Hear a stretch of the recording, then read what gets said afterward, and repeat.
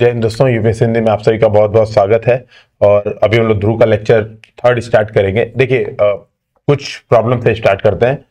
कुछ लोगों को नोट्स बनाने में प्रॉब्लम आ रही थी तो इसीलिए मैंने फ़र्स्ट क्लास लॉन्ग ली थी, ठीक है? फ़र्स्ट क्लास लॉन्ग लेने का कारण मैंने बता दिया था कि आप लोग नोट्स वोट्स बनाओगे और पहली क्लास को लेकर कई बार ओवर एक्साइटमेंट होता है। अच्छा एक प्रॉब्लम नोट्स को आ रही थी और दूसरी प्रॉब्लम आ रही थी कि इंग्लिश में ज़्यादा बोल। ऐसा लग रहा है क्या? एक बार बता दीजिएगा आप लोग को, अगर ऐसा लग रहा है तो। मैं आज कोशिश करूँगा हिंदी, इंग्लिश दोनों जैसे क्या है कि कभी बार बोलते बोलते ना, देखिए एक चीज़ समझिएगा जियोग्राफी इकोनॉमिक्स ये दोनों टेक्निकल सब्जेक्ट है आपके यूपीएससी की प्रिपरेशन में। यहाँ पर आप इवन एग्ज़ाम में भी ना इंग्लिश ही की वर्ड यूज़ करेंगे। समझिएगा, जैसे खास तौर पर आप ये बात देखिएगा, आप आप इंग्लिश की वर्ड ही इसमें, ये जो देवनागरी में आप इंग्लिश की वर्ड यूज़ करेंगे। सपोज़ आपको लिखना है, मान लो, संवहनी धाराएँ तो कई बार संवहनीय धाराएँ नहीं याद आएगी आपके पढ़ते समय। लिखिए तो वेल एंड गुड लेकिन कन्वेक्शनल करंट भी आप लिख सकते हैं। कन्वेक्शनल करंट ऐसे देवनागरी में कन्वेक्शनल करंट भी लिख सकते हैं। तो ये नहीं सोचना कि सर मेरी हिंदी बहुत खराब है या मेरी इंग्लिश बहुत खराब है। मैं समझा रहा हूँ, समझने पे फोकस करना है, न कि हिंदी इंग्लिश पर। पहली बात। दूसरी बात, कुछ लोगों ने नोट्स बहुत शानदार भेजे थे। कुछ लोगों ने आंसर भी भेजा था। मैं सबकी तो यहाँ पे कॉपी नहीं शो कर सकता ऑब्वियस ही बात है। लेकिन एक चीज़ समझना, जैसे बस ओवरऑल बता दे रहा हूँ। इसीलिए मैंने पहली क्लास में खूब टाइम दिया था और पहली क्लास के बाद आपको एक दिन का गैप भी मिला है। अभी खास तौर पे दो हफ़्ते तक आपको अल्टरनेट डे क्लास चलेगी, ठीक है? ताकि आप एक बार पचा पाए इस चीज़ों को। ये समझिएगा, बहुत ज़रूरी है और हम लोग इस मामले में बहुत ही ज़्यादा साइंटिफिक हैं। आप लोग को ऐसा प्रेशराइज नहीं करेंगे कि आपको कुछ चीज़ समझ में नहीं आ रहे और आप कुछ भी कर रहे हैं, ठीक है? तो प्रेशराइज एकदम नहीं करेंगे। अभी आपकी क्लास थोड़ी स्लो स्पीड में चलेगी। लेकिन एक बार आप, आपको ये लगे कि हाँ सर, अब हम तैयार है पूरी तरह से लड़ाई करने के लिए तो क्लासेस डेली चलेंगी। ठीक है डेली क्लासेस चलेंगी, क्योंकि 120 क्लासेस लगभग हैं। लगभग 120 क्लासेस कंप्लीट करनी है हम लोग को। मार्च से पहले मतलब फरवरी एंड से पहले हम लोग को कोशिश ये करना है, अभी कौन सा समय बचा अभी चल रहा है दिसंबर, जनवरी, फरवरी, ऐसे मान लो। ठीक है, दिसंबर, जनवरी, फरवरी, मान लो अभी तीन महीने अपने पास हैं। दिसंबर, जनवरी, फरवरी तो तीन महीने में अपने को, ठीक है, तीन महीने में अपने को 120 क्लासेस करनी है। तो 120 का मान लो 70 परसेंट ही मान लीजिए 70 परसेंट मान लीजिए मान लीजिए 30 परसेंट चलिए आप प्री के बाद भी कर सकते हैं, लेकिन कम से कम 84 क्लासेस तो हम लोग को करनी है, कम से कम बारह सत्य चौरासी तो लगभग इतनी क्लासेस तो हमारे पास होनी ही चाहिए सिलेबस हमारा इतना कंप्लीट होना ही चाहिए। तो ये मत सोचेगा कि नहीं सर, हमेशा ऐसे ही स्लो नहीं चलेगा, ऐसे स्लो नहीं चलेगा, इसलिए नहीं चलेगा। तो पहले दिन आपको ये समझने के लिए कि सर, मैं ये डायग्राम बनाऊ, मैं वो डायग्राम अगर पहले दिन में दस क्वेश्चन मान लो पढ़ा देता या पाँच क्वेश्चन पढ़ा देता तो आपको लगता कि क्या हो रहा है? ऊपर से जा रहा है। तो आप इस चीज़ को सहन नहीं कर पाते, ठीक है? तो एक, अभी एक हफ़्ते पूरा स्पीड आपकी एकदम स्लो चलेगी, एकदम मज़े मज़े में पढ़िए एक दिन क्लास, एक दिन छुट्टी सोचिए, एक दिन काम कीजिए। धीरे धीरे जब आप एक बार आपको लगेगा, नहीं सर, अब हमको समझ में आ गया है तो आपका काम आगे बढ़ जाएगा। अभी समझ में नहीं आया था कल की क्लास में, क्यों? क्योंकि क्लास समझ में आई थी, कॉन्सेप्ट आप लोग का एकदम क्लियर था, ठीक है? लेकिन प्रॉब्लम क्या हुई थी? अभी भी नोट्स नहीं समझ में आ रहा है। क्यों? मैंने क्लास में कम से कम दस बार बोला था कि भैया, जब इसका आंसर लिखोगे महाद्वीपी विस्थापन के सिद्धांत और प्रमाण तो आप मैप्स बनाओगे। एक दो मुझे आंसर मिला। कंटेंट बहुत अच्छा था तो मैप से नहीं बनाए थे। जब मैं यहाँ पर तीन चार बार बोल रहा हूँ कि ये गोला बनाना है, दिखाना है कि पेंजिया से लेकर कैसे वर्तमान प्रायद्वीप पहुँचा, और बहुत नहीं बना पा रहे तो ऐसे बना दो वर्तमान प्रायद्वीप। ये ये क्या समस्या जा रहा है भाई ऐसे बनाने में? ये भी बना सकते हो। ठीक है, ये भी मैप बनता है, वेल एंड गुड मैप है। एग्ज़ाम में बस एग्जामिनर को समझाना होता है, वहाँ पे आर्ट का कंपटीशन आपका नहीं है, मैपिंग का कंपटीशन एग्ज़ाम नहीं है, एग्ज़ाम आपके जनरल नॉलेज की चेकिंग है। और जनरल नॉलेज की चेकिंग में ये भी आराम से आप, ये फील आ रही है कि साउथ अमेरिका वर्तमान स्थिति आप दिखा रहे हैं। एकदम समस्या नहीं इस बात पे, एकदम मत परेशानी कि बहुत सुंदर नहीं मैप बनेगा, एकदम अमेरिका का एकदम कट दिखना चाहिए फ्लोरिडा का कट नहीं दिखेगा, अंदर जाते हुआ नदी तो बर्बाद हो जाएँगे, ऐसा कुछ नहीं होगा। लेकिन फ्लो दिखना चाहिए एग्ज़ाम में तो मैप्स बहुत ज़रूरी है डायग्राम्स बहुत ज़रूरी है। तो आप लोग को नहीं, ये नहीं बनाया। अब रही बात नोट्स की। तो नोट्स की पहला रिक्वायरमेंट ये है कि अगर मैं बोल रहा हूँ 250 शब्द, या मैं बोल रहा हूँ 150 शब्द तो इसका 50 परसेंट आप नोट्स बनाइए, यानी 75 से लेके 100 शब्दों का आपका नोट्स होना चाहिए। कोशिश ये कीजिए, एक पेज में मैक्सिमम मैक्सिमम एक पेज में आपका एक से दो टॉपिक हो जाए। तो कोशिश ये करना है, एक पेज में एक से दो टॉपिक हो जाए। जितने छोटे रहेंगे, थोड़ा छोटा लिखिए। फोकस करिए डायग्राम पे। जैसे मान लो मुझे यही लिखना था, प्रमाणों की विवेचना कीजिए तो आप क्या करिए, आप इसको पूरा लिखने की ज़रूरत नहीं है भाई। याद रहेगा एग्ज़ाम में, वो ज़्यादा ज़रूरत तो कई लोगों ने पूरा पैराग्राफ पैराग्राफ नोट नहीं आप क्या करिए, एक वर्ड मैप बनाइए, ये वाला। दिखा दो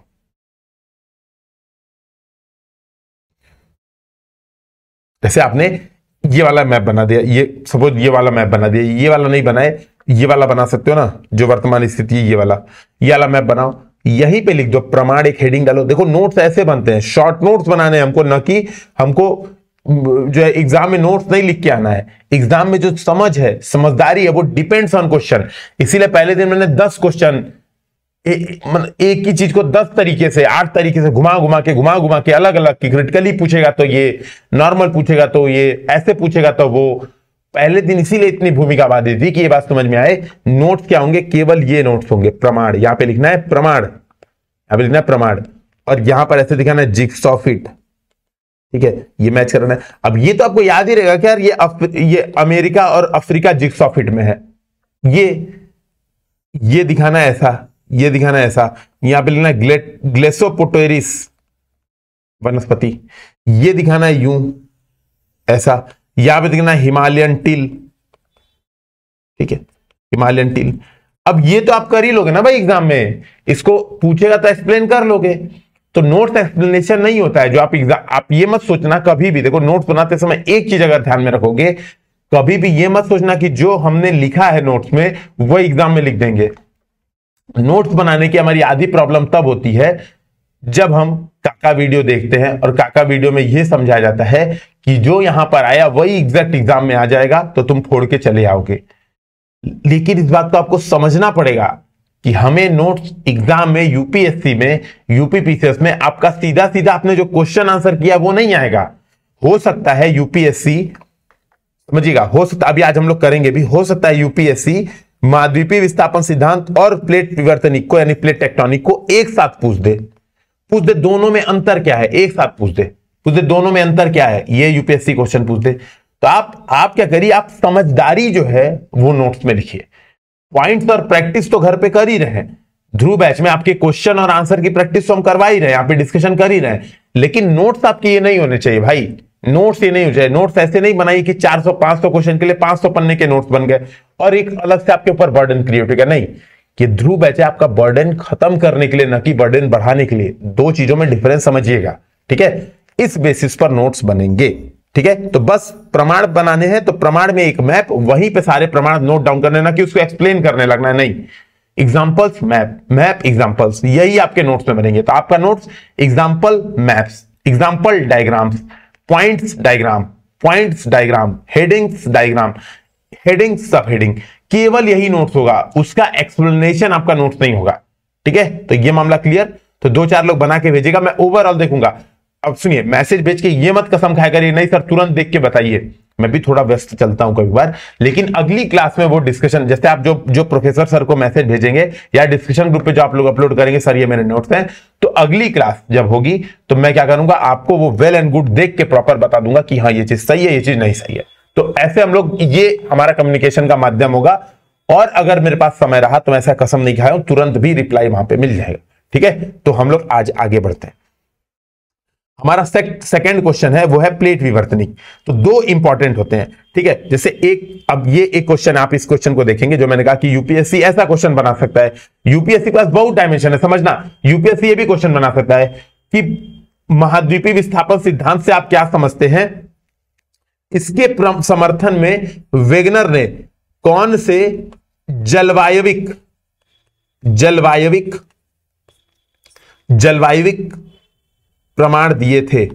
यानी क्लाइमेटिक प्रमाण कौन कौन से दिए थे? तो आप क्या बताओगे क्लाइमेट में? वही सब, हिमालयन टिल, यानी पहले एक जगह थी, हिमालयन टिल। तो आप सारा आपको आंसर लिखने का भी मौका नहीं है। ठीक है? वनस्पतियाँ एक जैसी है, यानी एक समान मौसम रहा होगा। तो सारा आपका ये भी नहीं पूछ हो सकता है पूछ दे कि बॉटनिकल इविडेंसेस बताओ, है ना? या पूछ दे जियोलॉजिकल इविडेंसेस बताओ। तो एफिनिटी जियोलॉजिकल मतलब भूवैज्ञानिक। भूवैज्ञानिक प्रमाण दीजिए। तो आपको वो लिखना है। तो प्रश्न तो अलग अलग तरीके से एक ही चीज़ के 500 क्वेश्चन क्रिएट कर सकती है यूपीएससी भाई, ध्रुव बैच एकमात्र एक ही क्वेश्चन पे खत्म हो सकता है। लेकिन हम एक टॉपिक पढ़ रहे हैं। ऐसा क्वेश्चन आंसर हमारा टारगेट क्या समझना? दो चीज़ों में एकदम डिफरेंस है। कभी ये गलत मत लेना कि एग्ज़ाम में क्वेश्चन डायरेक्ट थ्रू बैच का आएगा। नहीं, ये एकदम नहीं आएगा। आ गया तो उसमें मेरा कोई दोष नहीं होगा या मेरा कोई उपकार नहीं होगा। तुक्के से आ सकता है। हो सकता है आ जाए, तुक्के से आ जाए। लेकिन कंटेंट यही आएगा। इसी को आगे पीछे करके लिखना और वही यहाँ पर हम लोग डिस्कशन कर रहे हैं कि क्वेश्चन ऐसे पूछेगा तो ये, ऐसे पूछेगा तो ये। एक दो एग्ज़ाम्पल से हम लोग ऐसे ही बात करेंगे। ठीक है? तो कंटेंट से आपका सिलेबस कंप्लीट होगा। और एग्ज़ाम में उनके मिक्सचर्स आएँगे। डायरेक्ट भी आ सकता है, लेकिन डायरेक्ट आया, नहीं आया, इसमें कोई ज़िम्मेदारी नहीं है। ठीक है? ये बात समझेगा तो एक क्वेश्चन ये पूछ सकता है, महाद्वीपीय विस्थापन सिद्धांत के पक्ष में दिए जाने वाले तर्कों की विवेचना कीजिए। यह प्लेट विवर्तनिक सिद्धांत से किस प्रकार भिन्न है? मतलब discuss the arguments given in favour of continental drift theory how does it different from plate tectonic theory तो ये तो हमने पढ़ लिया था। पक्ष में कौन से तर्क दिए जाते हैं ये हमने पढ़ लिया था। प्लेट टेक्टोनिक से किस तरह से भिन्न है? तो प्लेट टेक्टोनिक से किस तरह से भिन्न है इसको हम लोग देखेंगे। तो आप अगर देखेंगे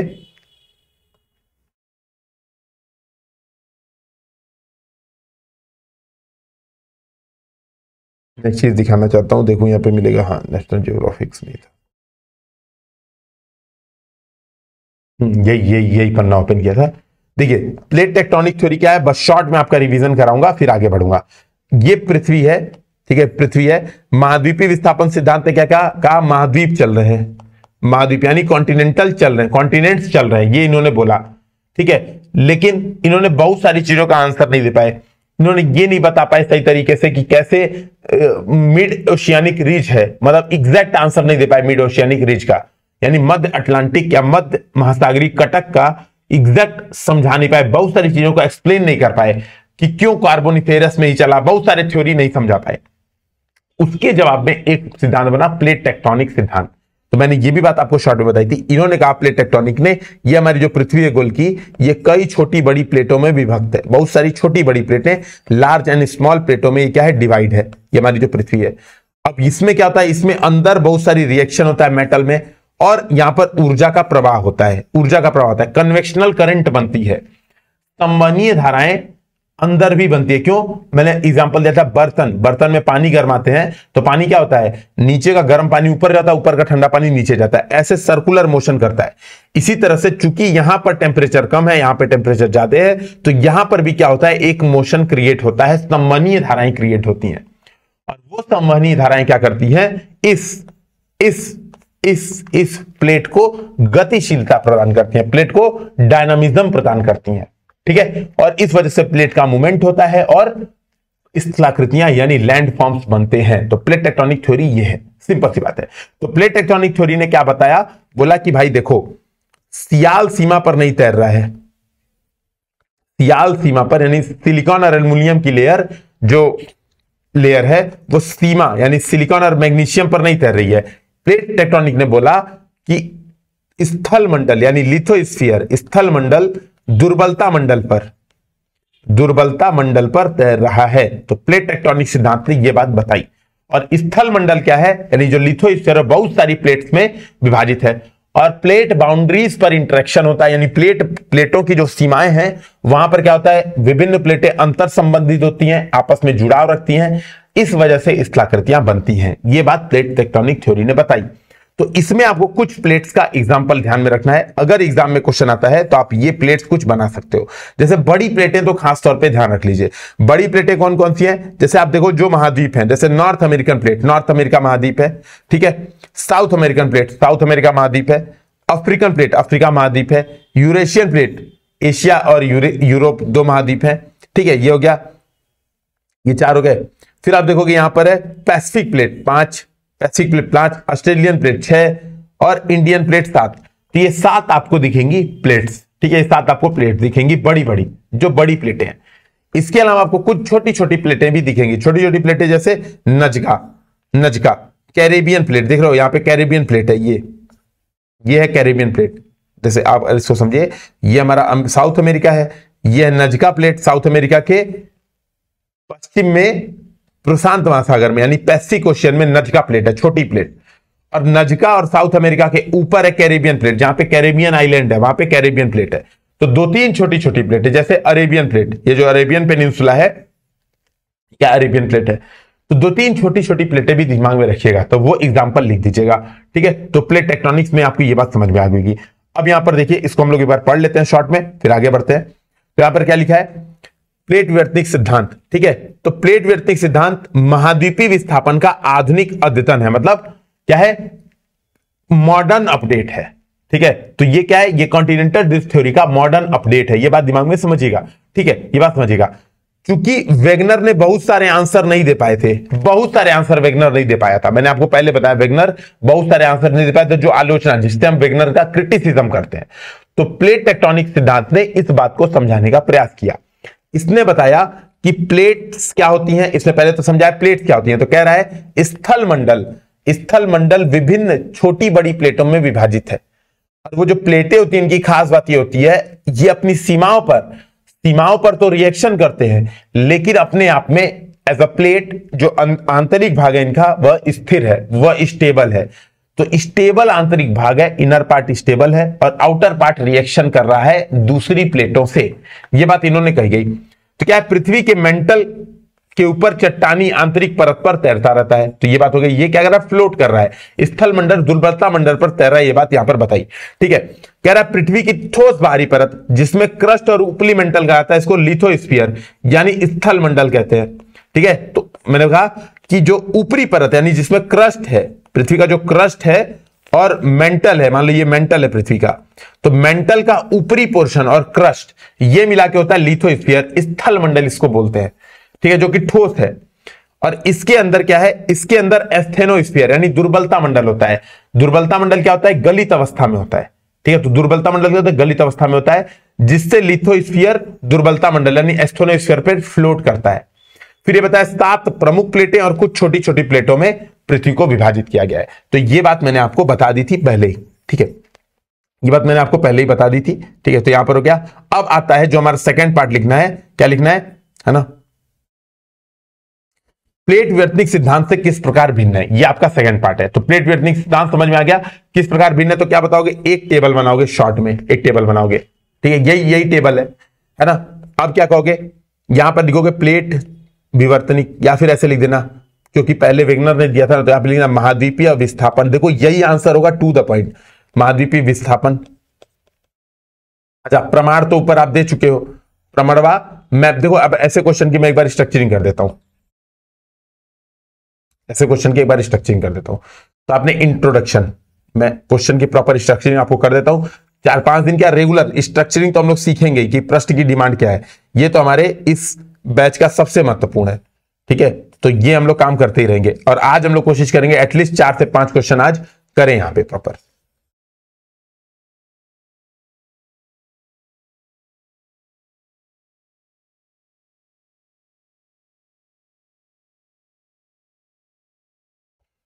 मेरा क्वेश्चन हो गया, अब देखिए यहाँ पर। तो महाद्वीपीय विस्थापन सिद्धांत के पक्ष में दिए तर्कों की विवेचना के लिए पहला पार्ट है। तो पहला पार्ट आप क्या लिखोगे? इंट्रोडक्शन बताओगे ना, महाद्वीपीय विस्थापन सिद्धांत सीधे बताओगे पृथ्वी पर स्थलाकृति को समझने के लिए या पृथ्वी पर पृथ्वी की वर्तमान स्थिति को समझने के लिए वेगनर द्वारा, वही बात सीधे सीधे बताओगे, जो इंट्रोडक्शन बताया था कि वेगनर द्वारा क्या किया? महाद्वीपीय विस्थापन सिद्धांत दिया गया और इसने क्या किया? विभिन्न बल बताए। विभिन्न बलों के माध्यम से, विभिन्न बलों, यहाँ पर सीधे लिखा विभिन्न बलों ब्रैकेट में, है ना? पोलर फ्लिंग फोर्स और ज्वारीय बल के माध्यम से बताया कि महाद्वीप खिसक रहे हैं, महाद्वीप खिसक रहे हैं, ये आपने बताया। और इसके पक्ष में निम्न प्रमाण दिए, और इसके पक्ष में निम्न प्रमाण दिए। यहाँ पे प्रमाण बता दोगे।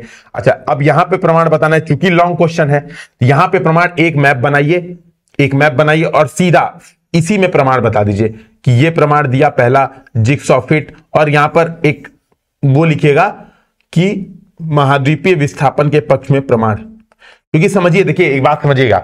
एग्ज़ाम में इसी प्रश्न को 200 में भी दे सकता है 250 में भी दे सकता है और 125 शब्द में एग्ज़ाम, एग्जामिनर को इस बात से घंटा कोई फ़र्क नहीं पड़ता कि आप कैसे लिखोगे इतना बड़ा क्वेश्चन 125 शब्द में, वो पूछ सकता है भाई। तो मान लो एग्जामिनर ने पूछ दिया 125 शब्द में, तब क्या करोगे? तब केवल मैप बनाओगे, ठीक है, केवल मैप बनाओगे, डायरेक्ट, है ना, सीधे। यहाँ पर पहले तो वो डायग्राम बना दोगे, तीन ठो, कि ऐसे ऐसे महाद्वीप अभी वर्तमान स्थिति में ऐसे पची है। प्रमाण बताने के लिए क्या करोगे? सीधा इठो, ये वाला मैप बनाना वर्ड मैप सीधा वर्ड मैप बनाना। ठीक है, और वर्ड मैप बनाने की प्रैक्टिस कर लो। देखो मैप से ना आपके आंसर बहुत आसान, छोटा सा मैप बनाना। और यहाँ पर दिखा देना, ये। इसको ऐसे मतलब हर चीज़ को अलग अलग दिखाना, इस तरह से। इसको जिक्सॉ फिट को ऐसे ऐसे क्रॉस दिखा देना क्रॉस इसको लिख देना जिक्सॉ फिट ठीक है, यहाँ पे दिखाना ग्लेट्सोपोटेरिस वनस्पति वनस्पतिक प्रमाण। यहाँ पे दिखा देना फिर इसको दिखा देना ऐसे ऐसे डॉट डॉट डॉट डॉट गोल गोल गोल गोल गोल। ये दिखा देना ऐसे कह देना यहाँ क्या है टीलाइट। हिमालयन टिल टिलाइट है। ठीक है यहाँ पे दिखा देना कॉर्डिलेरा कैल्डोनिया पर्वत। जितने प्रमाण बताए थे यहीं पर मैप में ही दिखा दिखा के मैप छोटकू सा बनाना। ठीक है तो क्या करना मैप बहुत छोटे से बन, बनाने की प्रैक्टिस कर लो। तो मैप मान लो इतना छोटा मैप बनाया और यहीं पर क्या किया अपने फ्लो चार्ट में यहाँ पर थोड़ा थोड़ा लिख दिया। एक एक लाइन एक एक पॉइंट एक एक पॉइंट उसके बारे में लिख दिया। और फिर यहाँ पर मैप का नाम कर दिया, प्रमुख प्रमाण। ठीक है? तो ये तरीका होगा आंसर लिखने जितने शब्दों का कम यूज़ करेंगे, जितना डायग्राम्स लिखेंगे एग्ज़ाम में उतना आपको जियोग्राफी में नंबर मिलने वाला है। सिंपल सी बात है। अपनी बात को रिप्रेजेंटेशन बहुत अच्छे तरीके से करिए। अब बोला महाद्वीपीय विस्थापन और महाद्वीपीय मतलब क्या बोलते हैं उसको? प्लेट टेक्टोनिक थ्योरी में, यानी प्लेट विवर्तनिक सिद्धांत में अंतर बताइए। अब क्या वही बेसिक से पहला बल, है ना? ये क्या कह रहा है? ऐसे एकदम लाइन से ये कह रहा है, सियाल सीमा पर तैर रहा है। सियाल सीमा पर तैर रहा है। यहाँ पर क्या बताएँगे? यहाँ पर बताएँगे, स्थल मंडल, दुर्बलता मंडल पर तैर रहा है। ठीक है? पहला पॉइंट दूसरा पॉइंट बल, ज्वारीय बल और पोलर फ्लूइंग फोर्स के कारण ऐसा होता है। यानी आप ऐसे कर सकते हो ये ये हेडिंग डाल सकते हो। गतिशीलता बल। गतिशीलता बल। तो आपने बता दिया, जारी एवं वो। यहाँ पर क्या लिखा? संवहनीय धाराएँ। कॉन्वेक्शनल करंट जो मेंटल में उत्पन्न होती हैं। यह आपने बताया। ठीक है यह आपने बताया। आपने बताया कि अब यहाँ पर एक एक पॉइंट एक एक पॉइंट जो जो आपको याद आ रहा है आप बताते जाइए। ठीक है, जो जो आपको प्रमाण याद आ रहे हैं, जो जैसी चीज़ें याद आ रही है, आप बताते जाइए। ठीक है, आप बता सकते हैं कि मध्य अटलांटिक कटक अटलांटिक कटक, उत्तर, उत्तरी अमेरिका का ही, या अमेरिका महाद्वीप का ही भाग है, जो धंस गया था। यही तो बोल रहा था ऐसे ऐसे वेस्टर्न गतिशीलता किया और ये धंस गया। यहाँ पर लिखिए प्लेटों के अपसारी अपसारी गति से। महासागरीय कटक का निर्माण होता है, यानी यानी महासागरीय कटक मतलब ओशियानिक रिज का निर्माण होता है, प्लेटों की अपसारी, यानी डाइवर्जेंस मोशन से। ये आपने बता दिया। ठीक है? चौथा, पर्वतों के निर्माण के लिए बताया, घर्षण बल। महाद्वीपों के घर्षण से पर्वतों का निर्माण होता है। यहाँ बताइए, प्लेटों के टकराने से टकराने से पर्वतों का निर्माण होता है, आपने बताया। फिर आप क्या बताओगे? यहाँ पर कंक्लूजन दे दोगे। तो चार पाँच पॉइंट बताया आपने, फिर कंक्लूजन दे दिया। कंक्लूजन क्या दे दोगे? कंक्लूजन दे दोगे कि भैया महा स्पष्ट है कि वर्तमान में प्लेट विवर्तनिक सिद्धांत को सर्वाधिक महत्व प्राप्त है। पृथ्वी की स्थलाकृति समझाने के लिए प्लेट टेक्टोनिक थ्योरी को मोस्ट इंपॉर्टेंस प्रदान की गई है। लेकिन यह ध्यान रखना होगा महाद्वीपीय विस्थापन सिद्धांत ने ही इसकी शुरुआत की थी या इसकी प्रस्तावना, इसकी भूमिका महाद्वीपीय विस्थापन सिद्धांत ने ही बनाई थी। या फिर यह कंक्लूजन लिख सकते हो। यह स्पष्ट है कि वर्तमान में महाद्वीपीय विस्थापन सिद्धांत के सापेक्ष प्लेट विवर्तनिक सिद्धांत या प्लेट टेक्टोनिक सिद्धांत यानी कॉन्टिनेंटल ड्रिफ्ट थ्योरी के सापेक्ष in relation to continental drift theory the plate tectonic theory has been in मतलब कह सकते हो आप मतलब ये साइंटिफिक है, वैज्ञानिक है।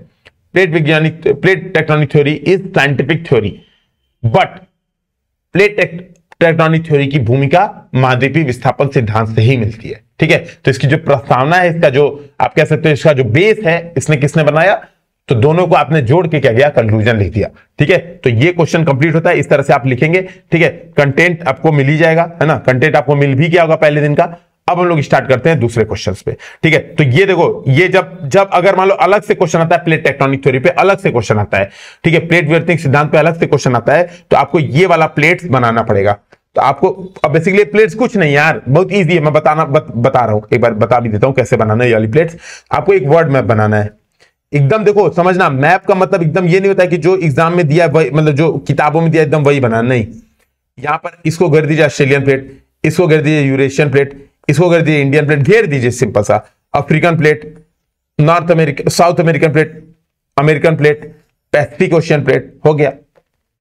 छोटा छोटा एक यहाँ दिखा दिया नजका, यहाँ पे कैरेबियन यहाँ पे अरेबियन पेनिनसुला में अरेबियन प्लेट फिलीपींस के पास फिलिपीनियन प्लेट तो एक दो छोटे छोटे प्लेट दिखा दीजिए। और दिखा दीजिए प्रमुख प्लेटें बस ऐसे दिखा दीजिए। काम खत्म। ये डायग्राम आपका होना चाहिए। और ये डायग्राम बनाने में कितना सेकंड लगा? तीस सेकंड देखो एक बार कितना समय लगा होगा डायग्राम बनाने में। ठीक है? ये आपका अप्रोच होगा आंसर राइटिंग का। ये आपका अप्रोच होगा एग्ज़ाम को क्वेश्चन अटेम्प्ट करने का। अब हम लोग आते हैं दूसरे क्वेश्चन ठीक है? अब ये क्वेश्चन है अगला। अगला हमारा क्वेश्चन है, सागरीय अतः स्थल के विस्तार की प्रक्रिया की व्याख्या कीजिए। अभी बस दो को, एक क्वेश्चन ये लास्ट करेंगे, उसके तीनों को मर्ज करा के एक क्वेश्चन कर लेंगे। ठीक है? तो ये इसका लास्ट करेंगे, फिर तीनों को मर्ज करा के एक क्वेश्चन कर लेंगे, उसके बाद कुछ कुछ स्थलाकृतियों पे क्वेश्चन देखेंगे। जैसे हिमालयन जैसे मैदान, उत्तरी भारत के तो जो इंपॉर्टेंट है, क्योंकि देखो जियोमोर्फोलॉजी अपने आप में दो महीना, तीन महीना कोचिंग्स में पढ़ाया जाता है, लेकिन हमें पता है, हमें पता है कि हम जियोमोर्फोलॉजी मुश्किल से हम दो क्लास दो ही क्लास में तो जियोमोर्फोलॉजी करेंगे। भाई, है ना? क्योंकि हमें सत्तर क्वेश्चन इंपॉर्टेंट इंपॉर्टेंट पढ़ने हैं। ये क्लास करते समय बार बार याद दिला रहा हूँ इस बात को ध्यान रखिएगा। इस क्लास का मेन टारगेट है आपका सिलेबस सारा कंप्लीट कराना टच कराना सिलेबस और ये मान के ये क्लासेस पढ़ाई जा रही है कि आपने एनसीईआरटी e पढ़ रखी है। इसीलिए मैं बहुत डायरेक्ट प्लेट टेक्ट्रॉनिक थ्योरी कूद जा रहा हूँ, बीच में नहीं कुछ समझा रहा हूँ। ऐसा मान के पढ़ा रहा हूँ कि आपने एनसीईआरटी e पढ़ रखी है। नहीं पढ़ी है तो पहले एनसीईआरटी पढ़नी पड़ेगी। ठीक है, ये बात तो दिमाग में क्लियर कट होनी चाहिए। ठीक है? तो अब यहाँ पर हो जाता है, सागरी अधस्थल के विस्तार की प्रक्रिया की व्याख्या कीजिए। साथ ही इसका समर्थन करने वाले विभिन्न प्रमाणों पर भी चर्चा कीजिए। तो कह रहा है explain the process of sea floor spreading also discuss the various evidence that supports it ठीक है? तो बस ये भी डायरेक्ट क्वेश्चन है। एकदम इनडायरेक्ट नहीं। इस क्वेश्चन के कितने पार्ट हुए? तो पहला पार्ट हुआ इंट्रोडक्शन दूसरा पार्ट हुआ मेन बॉडी देखो यहाँ पर लिख भी रहे हम लोग, हमने यहाँ पर दृष्टिकोण दे दिया है। जो सॉल्व करने की अप्रोच है वो यहाँ पर लिखी हुई है। लेकिन समझना, बात यह है कि यहाँ पर जो आपको कंटेंट दिया, वो 2000 हालाँकि हमने बहुत काटा है, हमने बहुत छाट छाट के इसको ड्रॉ किया है ना। जो मटेरियल मार्केट में अवेलेबल है, वो इससे दुगने दुगने हैं। उसमें से कट कट करके कट पेस्ट करके कट पेस्ट करके बनाया है।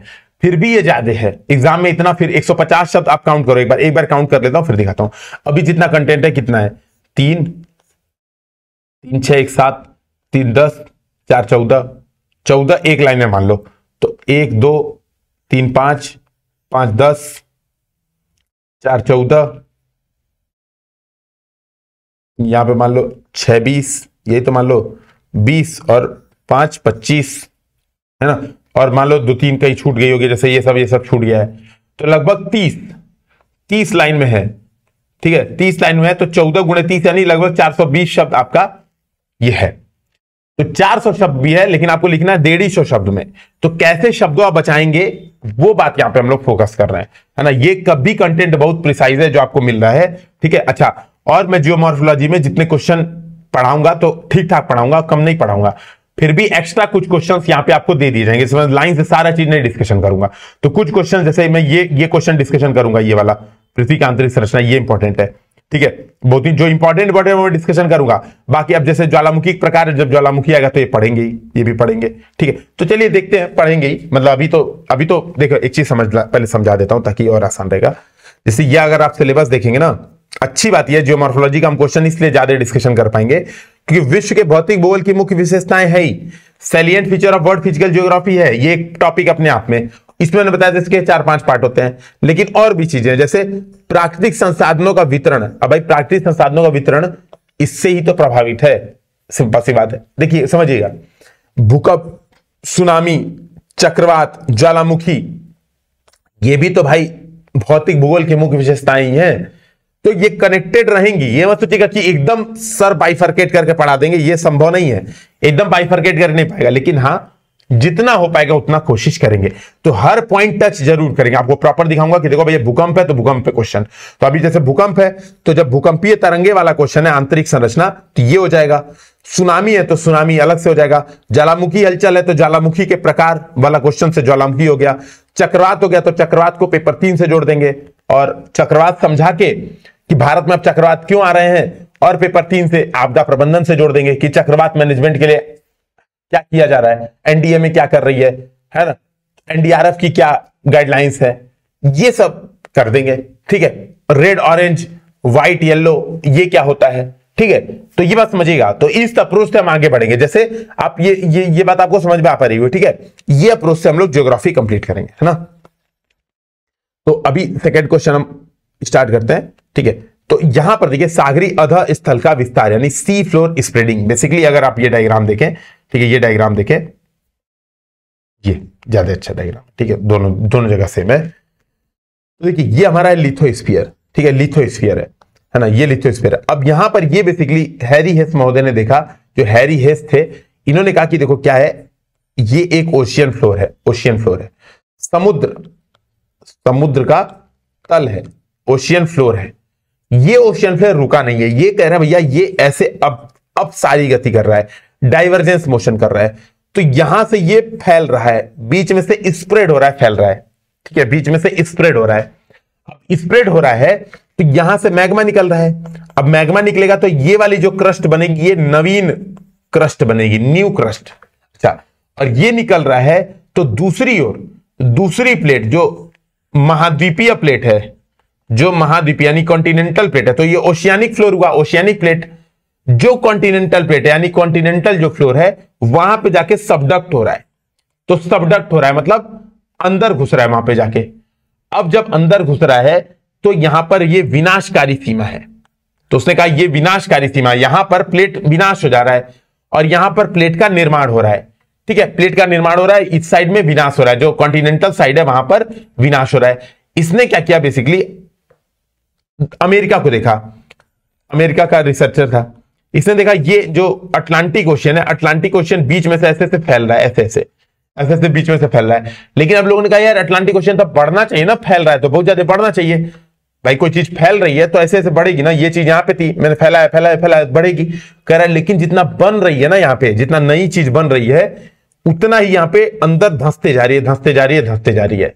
और चूँकि ऐसा नहीं है कि एक ही दिन में एक किलोमीटर फैल रहा है कुछ सेंटीमीटर फैल रहा है, कुछ सेंटीमीटर धस रहा है, कुछ सेंटीमीटर फैल रहा है, कुछ सेंटीमीटर धंस रहा है। इसलिए भूकंप भूकंप आते रहते हैं। इसीलिए वो एक्टिव ये एक्टिव बाउंड्रीज हैं।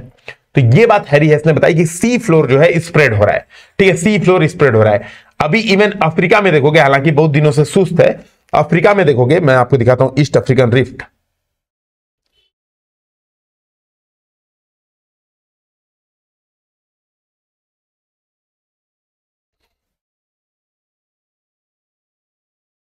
ये देखो रिफ्ट वैली दिख रही है। ये जो ईस्ट अफ्रीकन देख रहे हो, कितना कटा हुआ है रिफ्ट वैली ठीक है?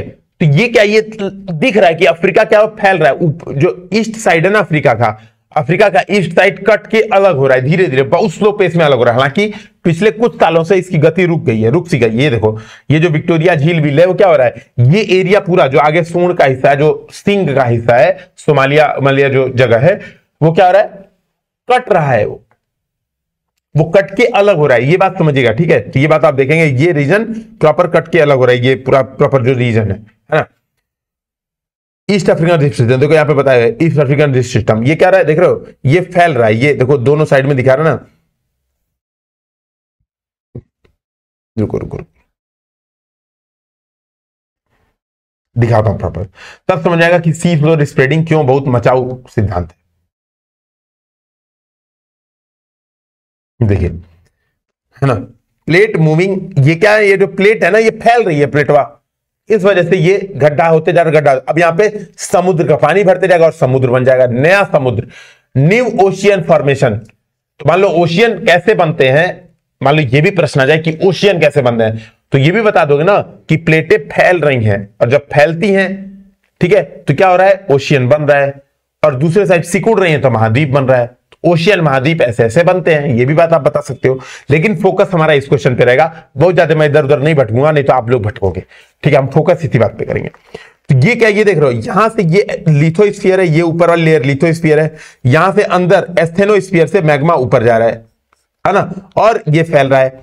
अब इधर से रीजन ये वाला साइड इधर गया, और ये वाला साइड इधर गया। इधर क्या है कॉन्टिनेंटल जहाँ पर है, जहाँ पे कॉन्टिनेंट है, वहाँ पर ये अंदर जाके सबडक्ट हो रहा है। यानी अंदर जाकर क्या हो रहा है, इसका विध्वंस। विध्वंसक क्षेत्र है। ठीक है तो हैरियस ने इस बात को कही।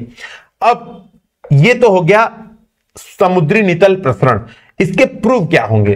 तो प्रमाण की बात करते हैं। कैसे प्रमाण होगा? कैसे प्रूव होगा कि ये चीज़ हो रहा है? तो बहुत सारी चीज़ें देखी गई समुद्र में। अगर मैं आपको यहाँ पर बताऊँ, एक पन्ना ऐड करके। ठीक है, अभी जब हम काम करेंगे ना तो हम यही करेंगे। जब एग्ज़ाम में आंसर राइटिंग करेंगे तो जो जो डायग्राम यहाँ पे बता रहा हूँ, ये डायग्राम पक्का नोट करना है। थोड़ा अच्छा बना लीजिएगा। अगर मेरी आर्ट थोड़ा आर्ट एंड कल्चर मेरा खराब है, ठीक है? तो थोड़ा आप अच्छा कर लीजिएगा। एक सेकेंड यार।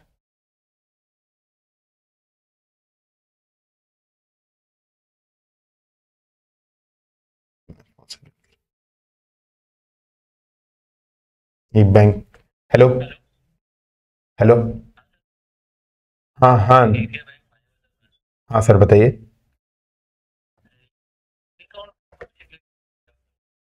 जी सर जी सर कल ही हुआ था। जी। जी जी मैं गौरव बोल रहा हूँ। मैं असल में लेक्चर रिकॉर्ड कर रहा था इस वजह से मैंने कॉल नहीं उठाई। अभी कर ही रहा हूँ सर। ओके तो कंफर्मेशन सर कुछ और बताना है? Okay thank you sir sorry for disruption है ना वो बहुत ज़रूरी कॉल थी लेकिन हो गया। नया ऑनलाइन ऑफलाइन सेंटर खुल रहा है तो कुछ प्रोसेस चलता रहता है। ना बढ़िया कि मैंने मोबाइल भी देख लिया बीच में। तो कांड हो जाता। वापिस सॉरी फॉर डिस्ट्रप्शन तीस सेकंड का। यहाँ पर देखते हैं हम लोग, ये देखो, ये ये है हमारा समुद्री नितल, ये हमारा समुद्री नितल। है इसको मैं ये बनाता हूँ, ये। ये डायग्राम आपको एग्ज़ाम में बनाना है, और एग्ज़ाम में डायग्राम जितना छोटा बना पाइए, उतना बढ़िया रहेगा। लेकिन छोटा का मतलब ये नहीं कि एकदम चीटी रख देना। कई लोग बनाए थे छोटा ऐसे मैं मैं बनाए थे, ये जिक्सॉ फिट ऐसे इतना छोटा जिक्सॉ फिट दिखाए थे। अब लग रहा था कि लेंस लगा के देखना पड़ेगा। इतना भी नहीं, लेकिन हाँ इतना की ठीक चलेगा। अभी मैं बताऊँगा कितना रेशियो में होना चाहिए, वो सब भी डिस्कशन करेंगे। ये इधर फैल रहा है, ये इधर फैल रहा है, ये इधर फैल रहा है। यहाँ से नवीन मैग्मा आ रहा है, नवीन मैग्मा आ रहा है ऊपर। अब नवीन मैग्मा आ रहा है तो प्रूफ कैसे पता चलेगा? प्रूफ कैसे है कि भैया ये फैल रहा है? आपको बताना है। मान लो मैं आपसे कहूँ प्रूफ दो कि ये चीज़ फैल रही है तो प्रूफ कैसे दोगे? यहाँ नया चीज़ आ रही है, नई मैग्मा आ रही है है ना? और ये तो आगे बढ़ते जा रहा है, आगे बढ़ते जा रहा है। यानी यहाँ पर बहुत पुराना मैग्मा, जो पहले यहाँ पर होगा सिंपल सी बात है, समझो। मान लो, अभी का कंडीशन देखो, मान लो, आज की बात करूँ तो आज यहाँ से एक मैग्मा निकला, लावा यहाँ पर गिरा, लावा, ठीक है, लावा गिरा। अब ये चीज़ आगे बढ़ती गई बढ़ती गई बढ़ती गई शिफ्ट होते गई करोड़ों साल बाद ये चीज़ यहाँ पहुँच जाएगी। ठीक है? और यहाँ पे नया नया निकलेगा। जन्म हो रहा है, यहाँ पर मरण के पास पहुँच रहे हैं। यहाँ पर जन्म, यहाँ पे मरण। तो यहाँ की जो चट्टानों की आयु होगी, जो रॉक का जो एज होगा, वो अभी नवीन रॉक्स होंगी न्यू रॉक्स होंगी। ठीक है? और यहाँ की रॉक्स सबसे ओल्ड होंगी। और ऐसा मिलता है। लोगों ने समुद्र के अंदर देखा तो करे एकदम सही बात है। जो मिड ओशियानिक रिज है, वहाँ की जो रॉक्स थी मिड ओशियानिक रिज के, एकदम नई थी। निकल ही रही थी, ताजी ताजी चट्टाने बन रही थी। और जैसे जैसे दूर जाते गए, तट की ओर जाते गए, कोस्टल रीजन पे जाते गए, देखिए चट्टान बहुत पुरानी है। पहला प्रूफ ये मिल गया, अब दूसरा प्रूफ भाई देखो, क्या बताया था? मैग्मा है अंदर से, ये बात कल डिस्कशन कर दी थी, लेकिन इस क्वेश्चन के लिए प्रॉपर डिस्कशन होता।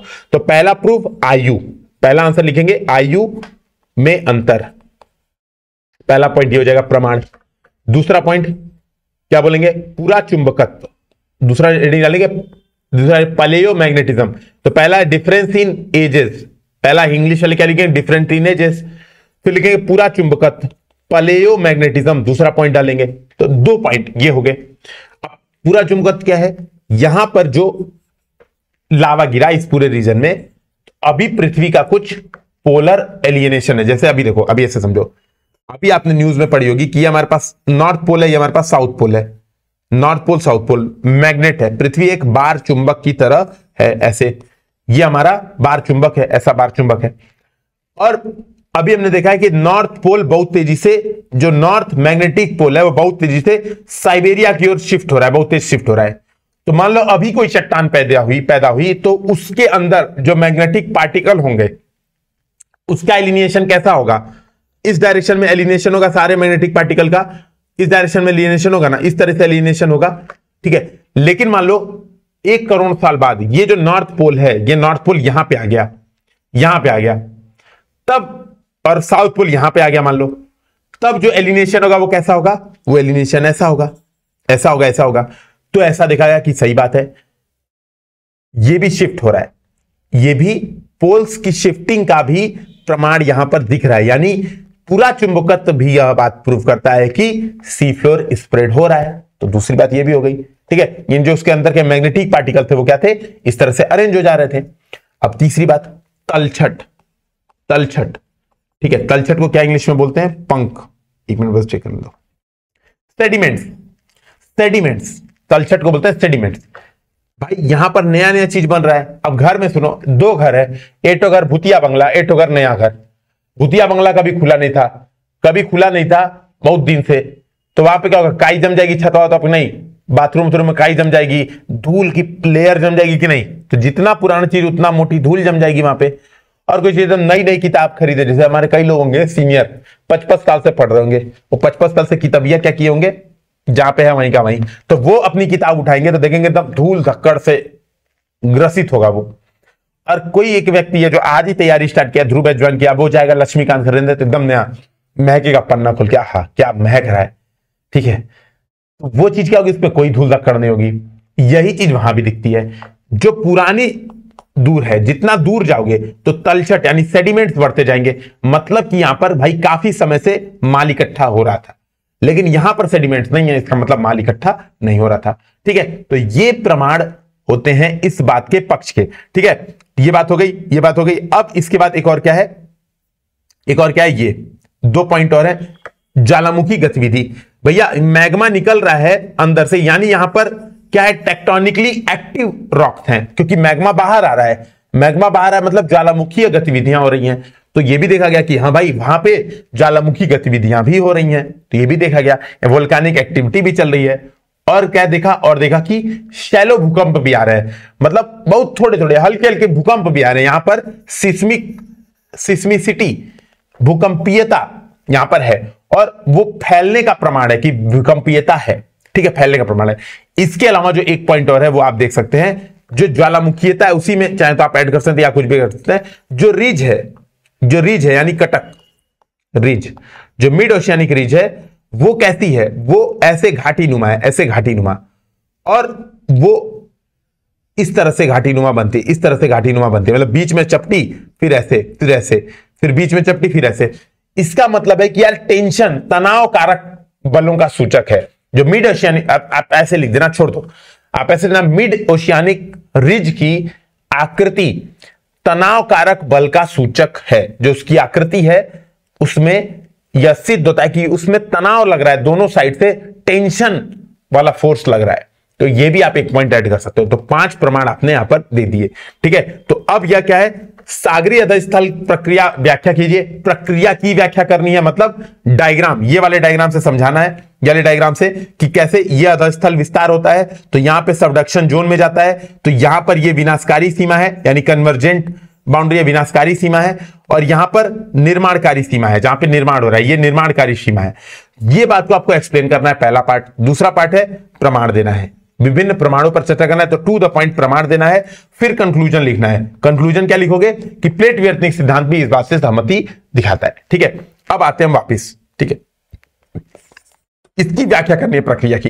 तो क्या क्या पॉइंट्स आपके आंसर में होने चाहिए? तो मैंने पहले ओवरऑल समझा दिया आपको। अब क्या क्या पॉइंट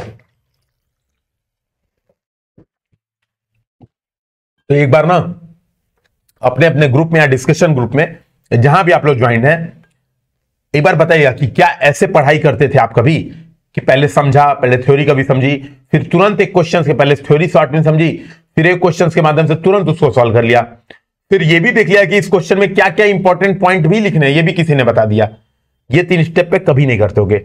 और मैं एक चीज़ बता रहा हूँ, एक चीज़ देखो, मैं जो एक्सेप्ट करता हूँ इस बात को, कि बिगनर को थोड़ा हार्ड लगेगा स्टार्टिंग में। बिगनर को हार्ड लगेगा क्यों?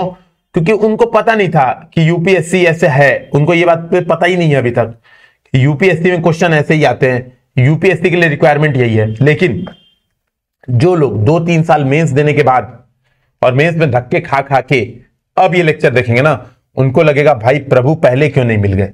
और ये लिटरली रोज मैसेज आते हैं सर, पहले क्यों नहीं मिल गए? ये डायग्रामा तो सोचते ही नहीं थे कि मेंस में। अभी तो ये भी बात समझना, अभी लिमिटेशन है। अभी हम लोग जियोमॉर्फोलॉजी पढ़ रहे हैं। यहाँ पे आपको लगेगा, ये तो हम भी डायग्राम बना लेते, वो सही बात है, क्योंकि सिलेबस भी खत्म कराना है तो सिलेबस कुछ इससे बहुत आसान होते हैं, कुछ इससे बहुत टफ होते हैं।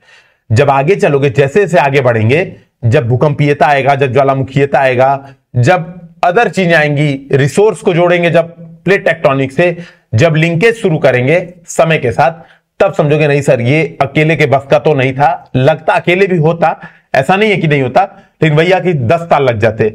पंचवर्षीय योजना बन जाती, तब तक उम्र खत्म हो जाती। जैसे सर, आपकी हो गई है खत्म। बुढ़े हो गए आप।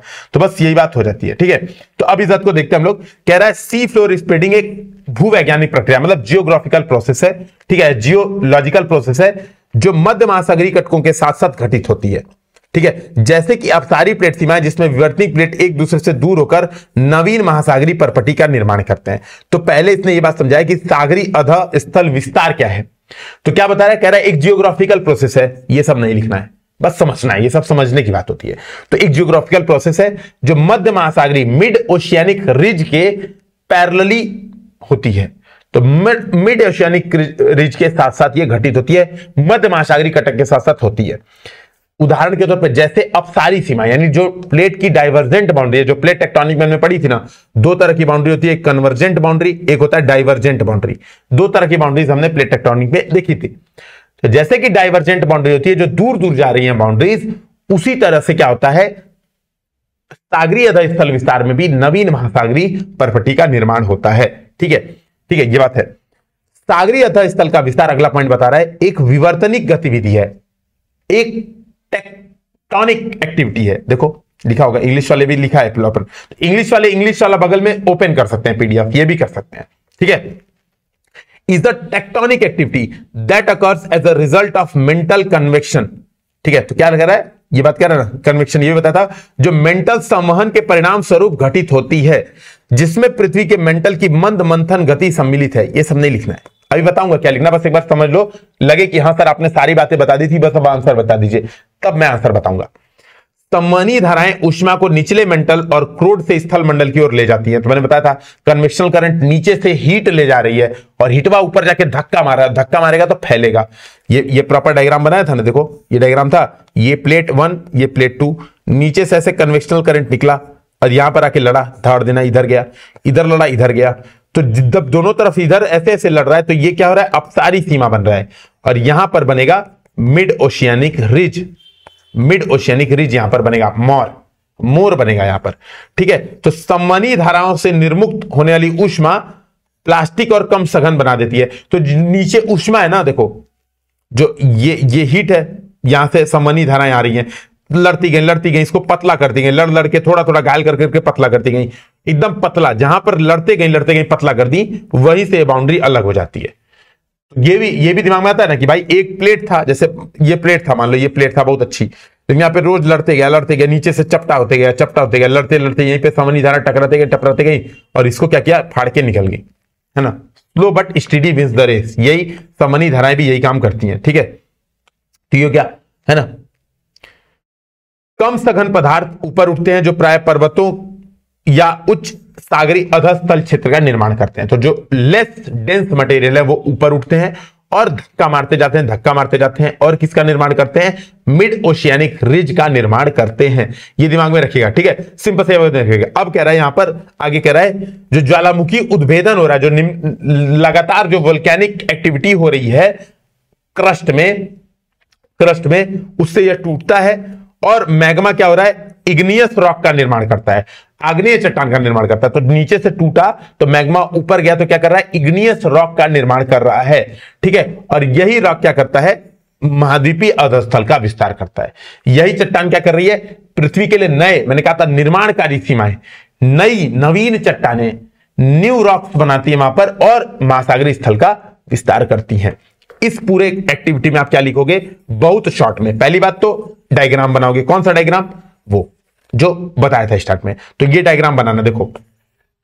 ये डायग्राम आपको बनाना वापिस देख लो। एक छोटा, इसको थोड़ा सा ऐसे बना लो। ये थोड़ा सा बड़ा रहेगा ना तो ज़्यादा अच्छा रहेगा। ये बनाना, ठीक है? और यहाँ से ऐसे बनाना। यहाँ पे लिख देना, महाद्वीप।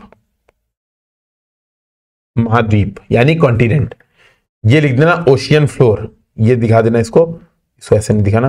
इसको लिखना ओशियन यहाँ पे समुद्र, ऊपर पानी बना दो थोड़ा सा। पानी। और यहाँ दिखा देना मैग्मा मैग्मा क्या क्या ज़रूरी डायग्राम में समझना। ये ज़रूरी है, ये एरो गति। गति की दिशा। ठीक है, गति की दिशा। मैग्मा गति की दिशा। और यहाँ पर हो गया, यहाँ पे लिख देना नवीन चट्टानों का निर्माण। न्यू रॉक्स फॉर्मेशन नवीन चट्टानों का निर्माण। और यहाँ पे दिखा देना शब्दक्षण क्षेत्र मतलब विध्वंसकारी सीमाएँ। और यहाँ पे दिखा देना चट्टानों का समापन। समापन। तो ये होगा नेम्ड मैप नेम्ड डायग्राम। और एग्ज़ाम में कभी भी डायग्राम में नेमिंग बहुत ज़रूरी होती है। केवल डायग्राम बना देना काफ़ी नहीं होता है, उसकी नेमिंग बहुत ज़्यादा एग्ज़ाम में ज़रूरी होती है। आपको नेम्ड डायग्राम बनाना है प्रॉपर, है ना? बता के कि ये डायग्राम में ये ये चीज़ें हैं। ठीक है? तो नवीन चट्टान, ये वो, ये ये चीज़ें आपके डायग्राम में दिखेंगी। तो पहला लाइन क्या लिखोगे? ये, ठीक है? सागरी अधस्थल विस्तार, ठीक है? यहाँ पर। एक विवर्तनिक गतिविधि है, सीधा ये। टेक्टोनिक प्रोसेस है, जो मेंटल संवहन के परिणाम स्वरूप घटित होती है, सीधा है। मेंटल संवहनी के परिणाम स्वरूप ये घटित होती है, ठीक है? यहाँ पर सीधा बात बताना। क्या बताओगे यहाँ पर? है ना? सीधे बताओगे। मेंटल की संवहनी धाराओं से निर्मुक्त होने वाली उष्मा महासागरीय परपट्टी को अधिक सुघट यानी प्लास्टिक बना देता है, हार्ड बना देता है, इलास्टिक नहीं, प्लास्टिक बनाता है, क्योंकि नीचे से लगते जा रहा है संवहनी जो हीट है ना, वो हीट क्या कर रहा है उसको हार्ड बनाते जा रहा है। और लेस डेंसिटी डेंसिटी कम करते जा रहा है। पहले पहले समझ रहे हो, पिघलाते जा रहा है, पिघलाते जा रहा है तो डेंसिटी कम होती जा रही है। तो कम सघन बना दिया। तो ये लिखेगा मेंटल की संवनी धाराओं से निर्मुक्त होने वाली उष्मा महासागरी पर्वटी को क्या बना देती है? अत्यधिक सुघट और कम सघन बना देती है। ये बात बताइएगा। इससे ठीक है, इससे क्या बताएँगे आप? फिर बताएँगे, है ना, ये हो क्या विवर्तनिक गतिविधि है, बस एक चीज़ और लिखना मुझे। हाँ विवर्तनिक गतिविधि है जो मध्य महासागरी कटकों के साथ साथ घटित होती है, ये भी बताना है। एक चीज़ ये ऐड करना है तो इंट्रोडक्शन क्या होगा? ये होगा सागरी अतः स्थल का विस्तार, एक विवर्तनिक गतिविधि, एक टेक्टोनिक प्रोसेस है, जो मध्य महासागरी कटकों के साथ घटित होती है यह बात भी लिखना है।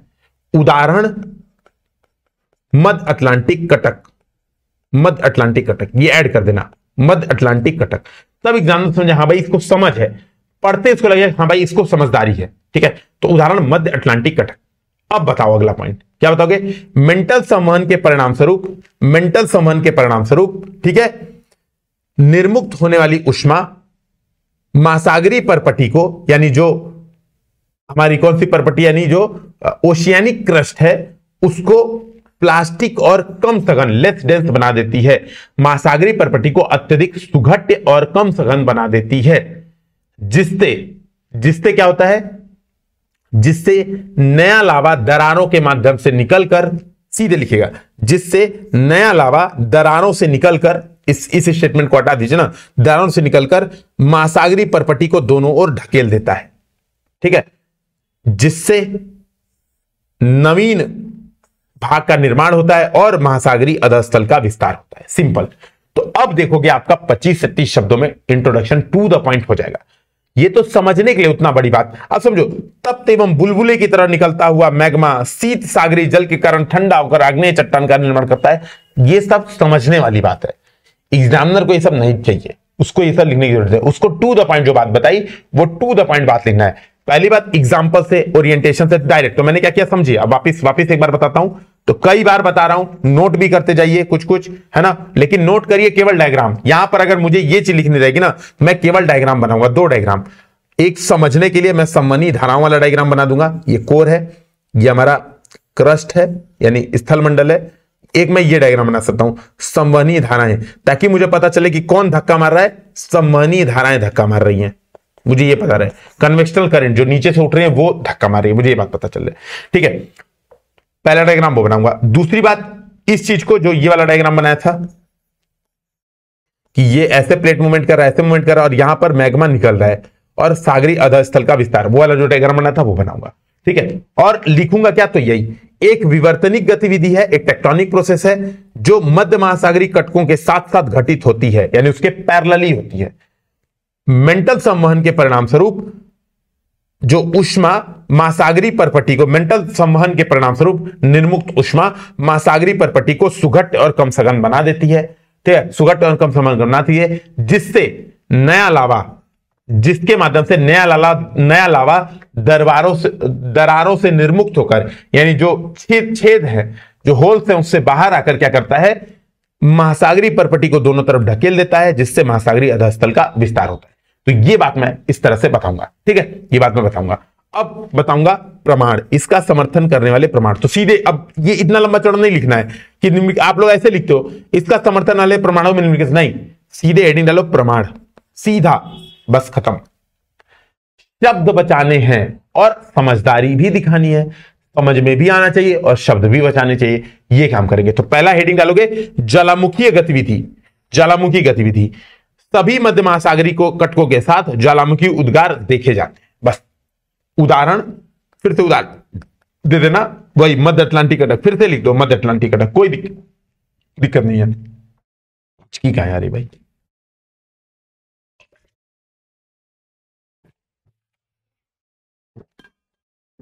ठीक है? तो पहला पॉइंट बताओगे, ज्वालामुखी गतिविधि। इसमें क्या लिखोगे? सभी मध्य महासागरीय कटकों के साथ ज्वालामुखी उद्गार देखे जाते हैं। उदाहरण दे बस खत्म। ठीक है, ये हेडिंग और एग्ज़ाम्पल फिर अगला सम दूरस्थ चट्टानों के समान गुण, यानी similar properties of equidistance rocks अब ये भी एक, ये बढ़िया पॉइंट है। ये अच्छा पॉइंट है मैं बताना भूल गया था। बढ़िया, इसीलिए नोट करके लाने का ये फ़ायदा होता है। ठीक है, इसीलिए तो ये बनवाया इतना मेहनत से, ना? जो हमारे प्रोफेसर साहब हैं, बहुत ज़्यादा इस कंटेंट को टाइपिंग और जो है एडिटिंग करने में बहुत मेहनत किया उन्होंने। सिल्वर डिस्चार्ज हो गई। रोज का इसका ये, पता नहीं क्यों, एप्पल वाले खराब सामान आजकल देने लगे। कोई दिक्कत नहीं है, ये समझिए। जैसे ये है, ये मिड ओशियानिक रेज है है ना? अब कह रहा है, यार, ये चीज़ अलग अलग जा रही है। तो लावा जो निकल रहा है, वो दोनों साइड गिर रहा है। कसम थोड़ा ना कह कि हम लेफ़्ट गिरेंगे चाहे राइट गिरेंगे, वो तो दोनों साइड ऐसे ऐसे गिर रहा है लावा। लावा तो ऐसे ऐसे गिर रहा है ना, दोनों साइड, इधर भी इधर भी इधर भी इधर भी, जिधर रास्ता मिल गया, उधर गिरा। तो जो यहाँ पे चट्टानों का जो क्वालिटी है या गुण है, जो उसकी वहाँ पे क्वालिटी है, वही प्रॉपर्टीज़ चट्टानों की जो प्रॉपर्टीज़ है, वो यहाँ मिलेंगी। तो जो रॉक प्रॉपर्टीज़ आपको मिड ओशियानिक रिज के लेफ़्ट साइड मिलेगा, वही रॉक प्रॉपर्टीज़ आपको मिड ओशियानिक रिज के राइट साइड भी मिलेगा। ठीक है? तो ये बात का समदूरस्थ चट्टानों के समान गुण। तो दाएँ और बाएँ, मध्य अटलांटिक कटक या मध्य समुद्री कटक के दोनों साइड में चट्टानों के गुण, यानी प्रॉपर्टीज़ क्या होती है? समान होती है। तो वो बात दूसरा पॉइंट बहुत महत्वपूर्ण है। तो बस सीधे ये लिखिए, है ना? ये लिखिए। तो क्या लिखेंगे? हेडिंग डालेंगे समदूरस्थ चट्टानों के समान गुण, ठीक है? तो यानी निर्माण के समय, रासायनिक संरचना और चुंबकीय गुणों में समानता, केवल यही। तो क्या लिखोगे? समदूरस्थ चट्टानों के समान गुण, यहाँ पर लिखोगे, रासायनिक संरचना, निर्माण का समय और चुंबकीय गुणों में समानता, बस। यही आपका आंसर होगा। केवल यही आपका आंसर होगा। तीसरा महासागरी परपटी की कम आयु, younger age of oceanic crust. बस, खत्म। मन करते फैक्ट फैक्ट बताओ, नहीं तो छोड़ दो। कोई मतलब नहीं है। कह रहा है, या तो आप यही बता सकते हो, मन करे तो फैक्ट लिख ही देना, ये अच्छी बात है, कोई दिक्कत नहीं है। सीधे महासागरी परपटी कम आयु मतलब भाई सीधी बात है महासागर में क्या हो रहा है, नई परपटी का निर्माण हो रहा है नई चीज़ बन रही है। तो जो नया बनागा, उसकी एज तो यंग होगी ना तो वही बात यहाँ पर बताया। कह रहा है, महासागरी परपटी की चट्टाने जो ओशियानिक क्रस्ट होती हैं 200 मिलियन ईयर से पुरानी नहीं है, जबकि महाद्वीपी चट्टाने 3200 मिलियन वर्षों से भी अधिक पुरानी इसका मतलब है, उधर जाके क्या हो रहा है, विध्वंस हो रहा है मतलब चट्टाने अंदर धस रही हैं, और पुरानी है सबसे चट्टाने महाद्वीपों के साइड जबकि जो महासागर है, वहाँ पर चट्टाने नई नई बन रही हैं। तो ये बात भी कहता है। सिंपल सी बात है, ये बात भी प्रूव है। तो आप चाहे तो लिख सकते हैं। यहाँ पर लिख सकते हैं, महासागरी परपटी कम आयु एक पॉइंट लिख सकते हैं, महासागर क्रस्ट महासागरी क्रस्ट लेस देन 200 मिलियन वर्ष। महाद्वीपी क्रस्ट लेस देन 3200 मिलियन वर्ष। ये बात आप बता सकते हैं। ठीक है, सिंपल सी ये बात। एकदम इस तरह से आप इसको रिप्रेजेंट कर सकते हैं। लेसर सेडिमेंट तो ये भी बताया था महासागरी अध स्थल पर तलछट की मोटाई जो सेडिमेंट है उसकी जो थिकनेस है अप्रत्याशित रूप से कम है। महासागरी अध स्थल पर जो ओशियानिक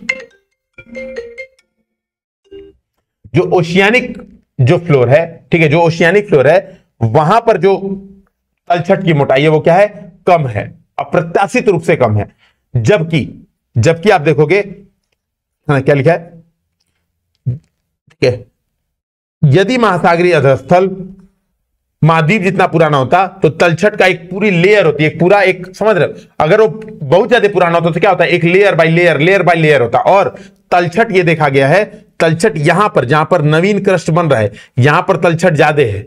जहाँ पर नवीन क्रस्ट बन रहा है सॉरी कम है तलछट। जहाँ पे नवीन क्रस्ट बन रहा है न्यू क्रस्ट फॉर्मेशन हो रहा है, यहाँ पे तलछट कम है। लेकिन जहाँ पे ओल्ड क्रस्ट है, वहाँ पे तलछट ज़्यादा है। मतलब यहाँ पर इस साइड में तलछट ज़्यादा है तो ये भी बात हो गई। ये भी पॉइंट बताया था। और सतही भूकंप शैलो अर्थक्वेक शैलो अर्थक्वेक क्यों? क्योंकि महासागरी कटक में, महासागरी कटक जस्ट वहाँ से लावा निकला तो बहुत कम गहराई के शैलो अर्थक्वेक वहाँ पर आते हैं। तो ये पाँच छह प्रमाण आप इस बात को बताएँगे। ठीक है, इस बात को बताएँगे और कंक्लूजन क्या लिखेंगे? प्लेट टेक्टोनिक से जोड़ देंगे। सिंपल से आता है कि प्लेट टेक्टोनिक थ्योरी भी महासागरी अधस्थल विस्तार को सही सिद्ध करता है। या फिर जो इन्होंने यहाँ पर जो कंक्लूजन लिखा है, क्या लिखा है? कि हैरी हेस द्वारा सागरी अधस्थल विस्तार की इन्हीं प्रमाणों के आधार पर परिकल्पना की गई। सिंपल सी बात है। ठीक है? तो है ना? तो ये हो गया सागरी अधस्थल विस्तार की परिकल्पना की गई। तो टू द पॉइंट आपको आंसर देना है तो टू द पॉइंट चीज़ें यूज़ करनी है। ठीक है? तो टू द पॉइंट चीज़ें यूज़ करके आप बता सकते हो, महासागरी अधस्थल ये खत्म हो जाएगा। ठीक है? तो हमने हैरी हेस पढ़ लिया, हमने प्लेट टेक्ट्रॉनिक पढ़ लिया, हमने पढ़ लिया अपना कॉन्टिनेंटल ड्रिफ्ट अब इन तीनों को मर्ज करके एक क्वेश्चन हम लोग देख लेते हैं। ठीक है, इन तीनों को मर्ज करके एक क्वेश्चन देख लेते हैं। ठीक है।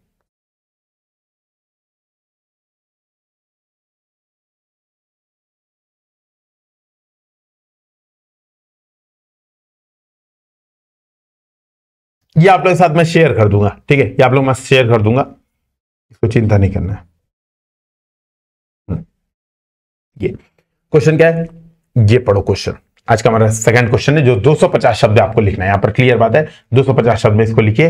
तो क्या है? महासागरी अध स्थल के मानचित्रण पर आधारित उत्तरवर्ती प्रवाह सिद्धांत ने महासागरों और महाद्वीपों के वितरण के अध्ययन को नए आयाम प्रदान किए हैं। सविस्तार वर्णन कीजिए। ठीक है? तो ये कह रहा है। कह रहा है post drift theory based on ocean floor mapping तो समझना तो बहुत सारी थ्योरी की बात कर रहा है कह रहा है पहले ड्रिफ्ट थ्योरी आई कॉन्टिनेंटल ड्रिफ्ट थ्योरी आई। उसके बाद बहुत सारी पोस्ट ड्रिफ्ट थ्योरी आई। ड्रिफ्ट थ्योरी के बाद बहुत सारी थ्योरी आई, जिसमें प्लेट विवर्तनिक महासागरी विस्थापन, ये सब आया। ठीक है? तो कह रहा है, ये जो है, किस पर आधारित थी? महासागरी अध स्थल यानी ओशियानिक फ्लोर ठीक है? महासागरी अध स्थल के मानचित्रण पर आधारित थी ठीक है? महासागरी अध स्थल के मानचित्रण पर आधारित थी, पोस्ट ड्रिफ्ट थ्योरी, ठीक है? कह रहा है, इसने नए आयाम प्रदान किए हैं महासागरों और महाद्वीपों के वितरण के अध्ययन पे। तो कहाँ कहाँ पे डिस्ट्रीब्यूशन है, ठीक है? डिस्ट्रीब्यूशन है ओशियन और कंटिनेंट का। कौन है यार हेलो? हेलो?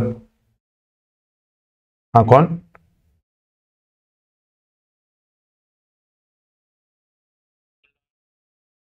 कौन आप कौन बोल रहे हैं? क्या हुआ? सर आप आपको वहाँ पे सर नंबर दिया होगा। आप उस नंबर पे कॉल करिए। ये केवल पेमेंट नंबर है सर। ठीक है? आप वहाँ पे एक बार नंबर दिया होगा सर। मैं क्लास रिकॉर्ड कर रहा हूँ अभी। ठीक है? तो आप आप एक बार देखिए और प्लीज़। तो सर आप एक बार व्हाट्सएप मैसेज कर दीजिए। परेशान मत होइए व्हाट्सएप मैसेज कर देंगे तो रिप्लाई आ जाएगा। आ जाएगा, सर आ जाएगा। आप चिंता मत कीजिए, रिप्लाई आपको आ जाएगी, ज़रूर आ जाएगी, ठीक है? ओके, जय हिंद। अब यार, ये लोग इतना डिस्टर्बिंग है, रुको मैं ऑफ़ ही कर देता हूँ। दिमाग खराब होता है फिर। स्विच ऑफ़ ये ज़्यादा बेटर है। ना फ़ोन ऑन करने का मतलब है कि लगातार पे फ़ोन पे फ़ोन पे फ़ोन कोई बात नहीं, गौरव त्रिपाठी सर कूल हो जाइए। देखिए लाइव होने का ये फ़ायदा होता है। लाइव होता है तो मैं गुस्सा उतार लेता हूँ। अब लाइव नहीं तो गुस्सा उतर नहीं पाता है, खैर। तो अब ये post drift theory based on ocean floor mapping provided new dimension to the study of distribution of the ocean and continents elaborate कह रहा है, इसी बात को सविस्तार वर्णन कीजिए। ये मत बताइए कि पक्ष में तर्क, विपक्ष में तर्क, ये सब कुछ नहीं चाहिए। इसी बात को एक्सप्लेन कीजिए कि कैसे पोस्ट ड्रिफ्ट थ्योरी जो आई, जो किस पर आधारित थी? जो आधारित थी ओशियन फ्लोर मैपिंग पर जो आधारित थी। तो पोस्ट ड्रिफ्ट थ्योरी किस बात पर आधारित थी ओशियन फ्लोर मैपिंग पर। तो लोग गए, समुद्र में डुबकी लगाए और मैप की, कह रही, यार, यहाँ तो ऐसा है, यहाँ तो ऐसा अंदर अंदर जाके समुद्र के गहराइयों में देखा, ठीक है, अथाह गहराइयों में समुद्र की देखा, है ना? और फिर देखे कि क्या क्या रिसर्च हो सकती है। वहाँ पे रिसर्च किया तो बहुत सारी थ्योरीज बनाई, जो कि drift theory continental drift theory के बाद आई थी। ठीक है? कॉन्टिनेंटल ड्रिफ्ट थ्योरी के बाद आई थी तो उसने बोला है कि नए डायमेंशन प्रदान किए हैं study of distribution of earth ocean and continent ठीक है? अब इस बात को आपको बताना है। तो आपको क्या करना है अब यहाँ पर? यहाँ पर अब कैसे इसका आंसर लिखोगे, कैसे स्ट्रक्चरिंग करोगे? सबसे पहले स्ट्रक्चरिंग करनी है। प्रश्न पढ़ के सब अब आपको सब बता दिया मैंने तो ये आंसर एक बार अटेम्प्ट कीजिए। सब बता दिया मैंने। है ना सारी चीज़ें बता दिया है। ठीक है? तो बस मैं एक बार शॉर्ट में समझाता हूँ, बस काम खत्म करते हैं। तो देखो, पहले बता दोगे उत्तरवर्ती प्रवाह सिद्धांत, है ना? उत्तरवर्ती प्रवाह सिद्धांत, ठीक है? तो यानी आप इस बात को समझिए, पहले क्या था? प्रवाह सिद्धांत था। तो शॉर्ट में आप क्या कर सकते हैं? प्रवाह सिद्धांत को बता सकते हैं कि वेगनर ने महाद्वीपीय प्रवाह सिद्धांत में माना था कि पोलर फ्लिंग बल, अब शॉर्ट में अपनी बात को लिखिए, ध्रुवीय उत्प्लवन बल, पोलर फ्लिंग फोर्स, और और कौन सा दूसरा फोर्स था? ज्वारीय बल के कारण महाद्वीपों में विस्थापन होता है। ठीक है? लेकिन वेगनर के सिद्धांत के पश्चात हुई शोधों ने जिनमें जिनमें कौन सा प्लेट विवर्तनिक सिद्धांत? और सीधा बताइए, प्लेट विवर्तनिक सिद्धांत और महासागरीय महासागरीय अधस्थल विस्तार सिद्धांत। सी फ्लोर स्प्रेडिंग थ्योरी ने अब नवीन आयाम प्रदान किए हैं। सीधे ये करके इंट्रोडक्शन लिख लीजिए। अब मेन बॉडी में बताइए, एक एक सिद्धांत बताइए और क्या क्या आयाम उसने दिए तो पहला सिद्धांत बता दो प्लेट टेक्टोनिक ने कौन कौन से आयाम दिए? तो कौन कौन से आयाम दिए? कि सियाल सीमा पर नहीं तैर रहा है, बल्कि क्या हो रहा है? स्थल मंडल दुर्बलता मंडल पर तैर बस प्लेट टेक्टोनिक सिद्धांत के क्या क्या पॉइंट्स है ना, वो लिखना है। पर्वत कैसे बने? तो प्लेटों के अभिसारी सीमा पर कन्वर्जेंट बाउंड्री पर पर्वत बने। ठीक है? ये जो है, आप कह सकते हो महासागर कैसे बने? तो पर अपसारी सीमा पर महासागर बने। ठीक है? जो वलय है, जो सरकम पैसिफिक जो वलय है, यानी परि प्रशांत महासागरी जो मेखला है, वो कैसे बनी? वो बन रही है पैसिफिक प्लेट। ठीक है? यानी प्रशांत महासागर की जो प्लेट है और अमेरिकन प्लेट, पैसिफिक प्लेट और यूरेशियन प्लेट, पैसिफिक प्लेट और फिलिपिनियन प्लेट अगल बगल दिखा सकते हो प्लेट्स बना के। इनके बीच के टकराव से वो बन रही है। तो ये काम आप क्या कर सकते हो? आप बता सकते हो कि ये इन्होंने नए डायमेंशन दिए हैं। किसको? महाद्वीप और महासागरों के समझदारी को। ये आप बता सकते हो। ठीक है? फिर आप क्या बताओगे? आप बताओगे, सी फ्लोर स्प्रेडिंग। तो वही वाला प्रमाण वाला, वही पॉइंट आप बता दोगे कि चुंबकीयता अलग है सेडिमेंट्स हैं ऐसे, जो चार पाँच पॉइंट बताए थे, वो बता दोगे, आयु अलग है, गुण सेम है। जो दोनों साइड जो गुण है, वो सेम है। तो इससे पता चलता है, ऐसा ऐसा है। ठीक है? फिर लिख दोगे कंक्लूजन कोई एक दो छोटी मोटी थ्योरी और पता है, जैसे पोलर वांडरिंग थ्योरी भी है, उसके बाद आई, एक दो थ्योरी और आई कि ध्रुव भी गतिशीलता कर रहे हैं, उन थ्योरी को मन करे कोट कर सकते हो। तो आपका आंसर समझ में आया? ये आंसर आप कोट करोगे इस तरह से, और डायग्राम्स ज़रूर बनाने हैं, ठीक है? डायग्राम्स बहुत ज़रूरी है बनाना।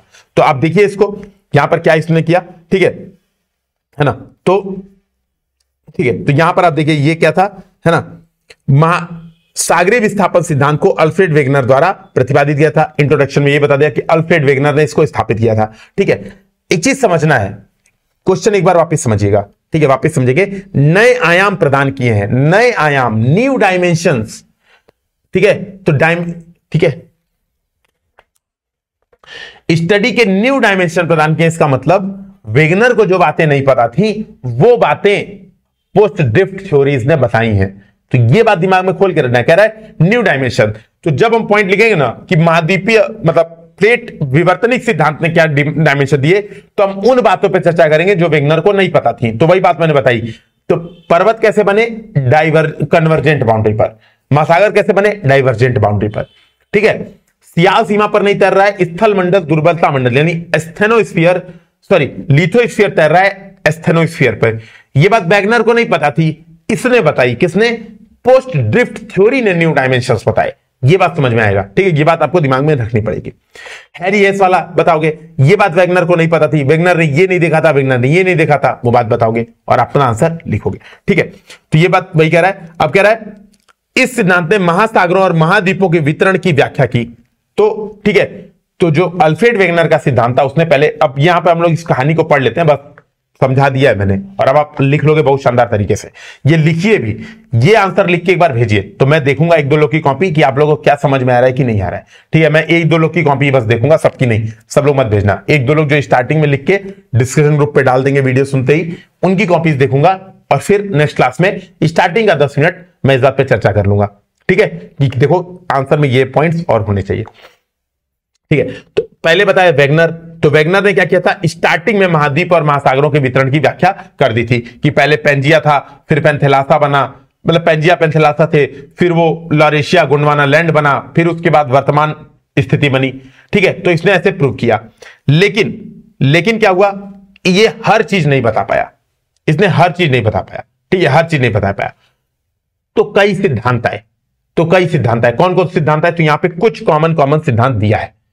कुछ सिद्धांत दिए हैं जो पोस्ट ड्रिफ्ट थ्योरी यानी ड्रिफ्ट के बाद जो थ्योरीज आई तो पहला थ्योरी थी संवहन धारा सिद्धांत। आर्थर होम्स अब इतना नाम वाम नहीं लिखना है। एक जीएस के बच्चे से इतनी उम्मीद नहीं की जा सकती कि वो इतनी डिटेल में जाएगा। जा सकते हो, ये लिख सकते हो। संवहन धारा सिद्धांत कन्वेंशनल करंट थ्योरी तो विग्नरवा जो कह रहा था विग्नरवा कह रहा था कि महाद्वीप जो है, ध्रुवीय बल से, ध्रुवीय उत्प्लावन बल से बह रहे हैं। सम्मानी धारा नहीं नहीं। आर्थर होम्स बता रहे अंदर से कन्वेंशनल करंट निकल रही हैं, वो महाद्वीपों को गति प्रदान कर रही हैं, वो तैरा रही हैं। तो ये बात बताई समन्वय धारा सिद्धांत। ठीक है? तो इसने क्या चर्चा की थी? समान धारा सिद्धांत ने समान धाराओं के संचालन की संभावना पर चर्चा की थी कि अंदर से कन्वेक्शनल करंट उठती है। फिर दूसरा, पूरा चुंबकत्व रिसर्च रिसर्च हुआ पलेओमैग्नेटिज्म रिसर्च हुआ, जिसने क्या किया? चुंबकीय क्षेत्र के रिकॉर्ड का अध्ययन किया। पृथ्वी का जो मैग्नेटिक मैग्नेटिक क्षेत्र है मैग्नेटिक रीजन ऑफ़ अर्थ है, ठीक है? उसका अध्ययन किया, उसने बताया कि पोल भी क्या था? वॉन्डरिंग कर रहा है। पोलर वॉन्डरिंग थ्योरी ध्रुव भी क्या है? इधर से उधर, इधर से उधर घूम रहे हैं। ध्रुव भी घूम रहे हैं। वो कैसे पता चला? चट्टानों का अध्ययन किया। देखा, कहीं पे डायमेंशन चट्टानों के अंदर जो जो मैग्नेटिक पार्टिकल है, उनका अलाइनमेंट यानी उनकी संरेखण अलाइनमेंट का मतलब संरेखण। उनका संरेखण दूसरी दिशा है। कहीं भी देखा, दूसरी दिशा है। कहीं भी देखा, तीसरी दिशा है। इसका मतलब पोल्स कहीं ना कहीं शिफ्ट हुए होंगे। ठीक है? अब पोल शिफ्ट होने का मतलब है कि पृथ्वी के अंदर ही अंदर उन चीज़ों का संचलन चल रहा है।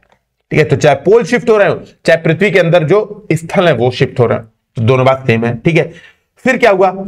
इसने सी फ्लोर स्प्रेडिंग और प्लेट टेक्टोनिक थ्योरी जैसे महत्वपूर्ण सिद्धांतों के विकास में मदद की है। ठीक है? तो ये दो सिद्धांत आए। तो बेसिकली आप समझना, जो मैंने बोला आपको आंसर में लिखने के लिए, वो तो मेन है। समझना। मैंने जब आपको सी फ्लोर स्प्रेडिंग सिखाई थी, सी फ्लोर स्प्रेडिंग अभी बता रहा था, या मैंने आपको प्लेट टेक्टोनिक बताई थी मैंने कहा था, प्लेट टेक्टोनिक कैसे हो रहा है? संवहन धाराओं से कन्वेंशनल करंट से प्लेट टेक्टोनिक हो रहा है। तो वहाँ पे कन्वेंशनल करंट आ गई थी। पूरा चुंबकत जब हमने सी फ्लोर स्प्रेडिंग का अध्ययन किया था तो मैंने बताया, देखो पलेओ मैग्नेटिज्म पलेओ मैग्नेटिज्म पलेओ मैग्नेटिज्म बताया था। तो वो सिद्धांत वहाँ पे आ गया। हाँ एक चीज़ जो मैंने इस क्वेश्चन में आपको नहीं बताई थी कि हाँ इंट्रोडक्शन के बाद आप ये बता सकते हो कि पोस्ट ड्रिफ्ट थ्योरीज कौन कौन सी हैं। शॉर्ट में ये बात आप बता सकते हो। तो आपने इंट्रोडक्शन यहाँ पर लिखा, मैं पूरी बात आपको समझा रहा हूँ। आपने यहाँ पर इंट्रोडक्शन लिखा, एक इंट्रोडक्शन ठीक है, जो वेगनर के बारे में छोटा सा, सबसे शॉर्ट तरीके से इन्होंने बताया, लेकिन वेगनर में बहुत सारी कमियाँ थी। लेकिन वेगनर बहुत सारी चीज़ों को एक्सप्लेन नहीं कर पा रहे थे। उदाहरण एक दो आपने बता दिया। शॉर्ट में आपने एक दो बता दिया। फिर एक आप शॉर्ट में डाल सकते हो पोस्ट ड्रिफ्ट थ्योरी पीडीटी उत्तरवर्ती प्रवाह सिद्धांत, उत्तरवर्ती प्रवाह सिद्धांत आप हेडिंग डाल सकते हो। और क्या कर सकते हो? फ्लो चार्ट में यहीं पे दिखा दो। यहीं पे दिखा दो सीधा सीधा कि पूरा चुंबकत्व का अध्ययन, संवहनीय धाराओं का अध्ययन प्लेट टेक्टोनिक और सागरी अधस्थल यहीं पे दिखा दो। और बता दो फिर सीधा सीधा ये वे प्रमाण स्थापित किए जो वैगनर के समय नहीं थे। तो इन्होंने एक साथ बता दिया है। इन्होंने दोनों प्रमाणों को एक साथ बता दिया है। लेकिन मैंने क्या किया? मैंने कहा, भैया, बेटर है कि आप हेडिंग्स डाल दो। प्लेट टेक्टोनिक थ्योरी अलग और सागरी नितल स्थल अलग। ये भी आप कर सकते हो और बढ़िया से आपका आंसर स्ट्रक्चर्ड हो जाएगा। ठीक है? तो यहाँ पर क्या बता रहा है? यहाँ पर बता रहा है, महासागरी परपटी की चट्टाने, महाद्वीपी चट्टानों की अपेक्षा अधिक नवीन है। वही चीज़। अब कुछ नहीं, जो हमने उसमें पढ़ा था, किसमें पढ़ा था? हैरी हेस वाले में। वही बात यहाँ पे बता रही देखो, जैसे कटक से दूर जाते हैं सेडिमेंट की मोटाई बढ़ती जाती है। ये भी हो गया था, ये भी बात मैंने बता दी थी। ठीक है, ये भी बात बता दी थी। मध्य महासागरी कटक हर महासागर में है। हैरी एस वाले में इंट्रोडक्शन यही तो था कि मध्य मध्य महासागरों के, यानी महासागरी कटकों के साथ साथ अधा स्थल का विस्तार चलता है। तो ये भी बात हो गई थी। और चुंबकित ध्रुवण और चट्टानों की आयु, यानी एज ऑफ़ रॉक्स और मैग्नेटिक अलाइनमेंट या मैग्नेटिक पोलैरिटी इसमें भी परिवर्तन, ये भी पॉइंट्स बता दिया था। देखो, वही इन्होंने भी वही किया है। आंसर में भी वही चीज़ है। बस हमने क्या किया? टू द पॉइंट इस बात को किया। ठीक है टू द पॉइंट इस बात को किया। ठीक है। ये हो गया। अब इसके बाद आया प्लेट विवर्तनिक सिद्धांत। फिर दूसरा आप सीधे हेडिंग डालो प्लेट विवर्तनिक सिद्धांत। ठीक है प्लेट विवर्तनिक सिद्धांत। प्लेट विवर्तनिक सिद्धांत बेसिकली सागरी अध स्थल, यानी सी फ्लोर स्प्रेडिंग का ही क्या है? और एक्स्ट्रा और डायमेंशन और व्यापक संस्करण है। ठीक है, और क्या है? ब्रॉड आप कह सकते हो, वर्जन है, ठीक है, और ब्रॉड वर्जन है। तो इसने बताया, सागरी स्थल का विकास हो रहा है यह बात बताया, ठीक है, नई समुद्री पटपटी का निर्माण और लगातार विनाश हो रहा है यह बात बताई। इसने बताया, पृथ्वी की सतह का क्षेत्रफल निश्चित है तो कहीं पर नई बन रही है, कहीं पर पुरानी खत्म हो रही है तो नई उतना ही बन रही है जितनी पुरानी समाप्त हो रही है। तो सतह का क्षेत्रफल पृथ्वी के क्या है, फिक्स होती है। तो जितनी नई परपट्टी का निर्माण होता है, उतनी ही पुरानी समाप्त होती है। पृथ्वी को सात प्रमुख और कुछ छोटी प्लेटों में विभाजित किया गया। तो ये बात बताई, ये बात आपको ही बताना है। और पर्वतों के निर्माण और समुद्रों के निर्माण पे भी आप एक पॉइंट लिख सकते हैं कि पर्वतों के निर्माण पे इन्होंने ये बताया, समुद्रों के निर्माण पे इन्होंने ये बताया। फिर क्या कर सकते हो आप? निष्कर्ष दे सकते हो। निष्कर्ष दे सकते हो कि क्या प्लेट विवर्तनिक सिद्धांत वर्तमान में सर्वाधिक प्रमाणिक सिद्धांत है और इसने न केवल महाद्वीप और महासागरों के अध्ययन को सुविधाजनक बनाया, बल्कि विभिन्न स्थलाकृतियों जैसे पर्वतों ज्वालामुखियों इत्यादि के बारे में भी समझने में मदद प्रदान की है। तो यह आपका कंक्लूजन भी हो जाएगा। ठीक है? इस वाले में डायग्राम बनाओगे, वही वाला जो फैल रहा था, यही वाला डायग्राम बनाओगे। ठीक है? ये बनाओगे और इस वाले में प्लेट्स दिखा दोगे, ऐसे गोल बना के प्लेट्स दिखा दोगे। ये वाली की पृथ्वी बहुत सारी प्लेट्स हैं, ये दिखा सकते हो। या फिर आप क्या दिखा सकते हो? वर्ड का मैप बना के प्लेट्स दिखा सकते हो। तो दो डायग्राम एक डायग्राम आपके हर आंसर में ज़रूर होने चाहिए। ठीक है? आपके हर आंसर में ज़रूर होने चाहिए। इसके बाद जो क्लास होगी वो हमारे पास जियोमॉर्फोलॉजी की लास्ट क्लासेस होंगी। तो लास्ट क्लास होगी। उसके बाद ओशनोग्राफी और वो पढ़ेंगे। अगर हमारे पास लास्ट में समय बचता है तो दो चार क्वेश्चन और जो मुझे लगे लास्ट में वो मैं डिस्कशन करूँगा। अभी के लिए आपको ये मिल जाएँगे। ठीक है, ये मिल जाएगा। और लास्ट क्लास जो जियोमॉर्फोलॉजी की, उसमें मैं इसमें के जो और इंपॉर्टेंट इंपॉर्टेंट क्वेश्चन है, वो मैं डिस्कशन करूँगा। तो अभी ऐसा नहीं है कि मैं आज ही खत्म है। अगली क्लास आज हमने तीन चार क्वेश्चन डिस्कशन किए, ठीक है? नेक्स्ट क्लास में भी हम तीन चार क्वेश्चन डिस्कशन करेंगे। अभी क्या कि अभी स्पीड स्लो है धीरे धीरे स्पीड हमारी बढ़ती जाएगी, ठीक है? क्योंकि अब बेसिक आप समझ जाओगे एक बार। अभी मैं समझाने में बहुत ज़्यादा समय दे रहा हूँ, ठीक है? तो थोड़ा सा मेहनत करते रहिए। और अब हम लोग बेसिकली कल हम लोग दो तीन क्वेश्चन करेंगे। तो आप मन करे तो पढ़ के आइएगा। जैसे ये हिमालय, मैं मैं आपको क्वेश्चन दिखा दे रहा हूँ, कल हम लोग कौन कौन से करने वाले जो जो रटने वाला है, वो सीधे सीधे दे दूँगा, रट लेना। बता दूँगा कि ये रट लो, ठीक है? ये ज्वालामुखी वाला तो वहीं पे हो जाएगा हमारा। कल हम लोग पहले तो ये करेंगे, पृथ्वी की आंतरिक संरचना, ये बहुत इंपॉर्टेंट है। मतलब मोस्ट इंपॉर्टेंट चीज़ है। आज हमने ये कर ही लिया था तो दूसरा क्वेश्चन हो गया हमारा, ठीक है? और हिमा और ये करेंगे, हिमालय का भारतीय जलवायु प्रभाव में पहले बता दे रहा हूँ, छोड़ दीजिए। तीन क्वेश्चन कल इंपॉर्टेंट इंपॉर्टेंट और जो हमारे पास रह जाता है। हिमालय का भारतीय जलवायु पर प्रभाव, ठीक है? पृथ्वी की आंतरिक संरचना करेंगे और उत्तरी मैदान, जो नॉर्दर्न प्लेन्स हैं, इनका निर्माण और इनका डिस्ट्रीब्यूशन ये तीन चीज़ हम लोग कल, ये तीन क्वेश्चन मिनिमम हम करेंगे। और इसके अलावा मुझे लगा तो एक दो क्वेश्चन मैं बता दूँगा कि ये पॉइंट इसमें याद रखना है, वो कर लीजिएगा। और ये पीडीएफ आपको दे दूँगा, इसको अपने पास रखिए रीड करते रहिए, समझते रहिए, फिर हम लोग ओशिनोग्राफी पर आएँगे या एटमोस्फियर पे आएँगे। ठीक है? जय हिंद, जय भारत।